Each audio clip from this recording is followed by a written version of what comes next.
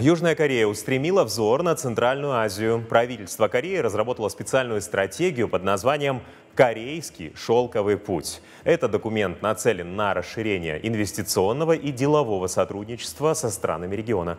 После визита в Туркменистан президент Южной Кореи прибыл с государственным визитом в Казахстан, чтобы лично продвигать этот амбициозный проект. Ключевые моменты официального визита в Астану расскажет наш корреспондент. Президент Южной Кореи в Казахстане в рамках своего турне по Центральной Азии. Визит в нашу страну является ключевой частью региональной поездки южнокорейского лидера, поскольку основными темами для переговоров стали сотрудничество в области добычи редкоземельных металлов, таких как литий в Восточно-Казахстанской области, а также взаимодействие в урановой промышленности.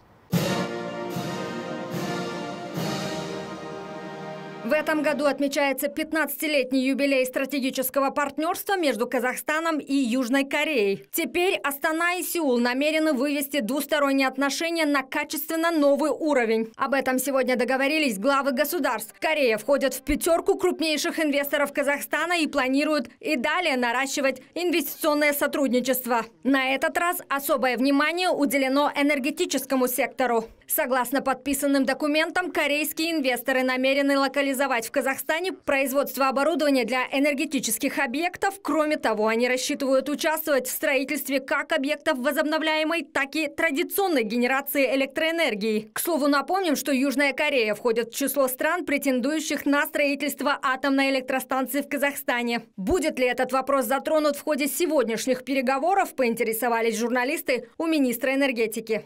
Южная Корея – это один из лидеров э, мировых по строительству э, объектов атомной э, генерации. Есть международный опыт строительства, в частности, в Таль-Барака. В Объединенных Арабских Эмиратах успешно введен в эксплуатацию 4 блока по 1400. И, и корейские вендоры, потенциальные вендоры, они у нас прошли предквалификацию, то есть и они вот находятся в списке предквалифицированных компаний, которые примут участие в дальнейшем при процедуре выбора подрядчика для строительства атомной станции в Республике Казахстан. Но понятно, если будет на это решение референдума.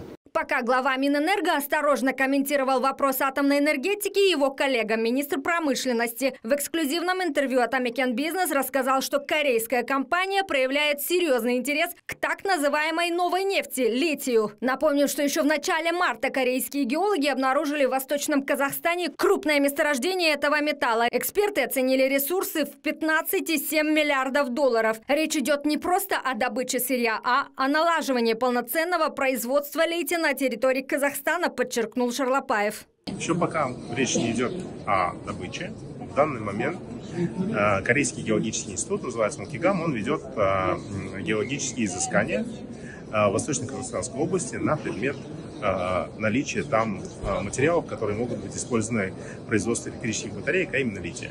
И вот по итогам изыскания и завершения геологических работ мы будем принимать решение о дальнейшем развитии этого месторождения и как э, и, э, будет развиваться сотрудничество. Но цель, конечно, наша очень простая, это начать производить э, литий для производства электрических батареек.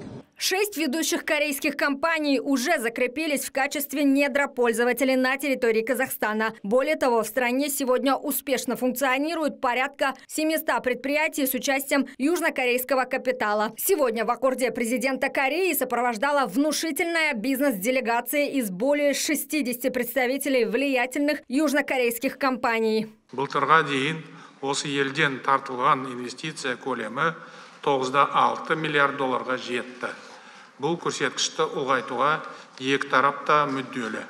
Қазақстанда корей капиталы бар 700-ден астам компания қызмет етеді.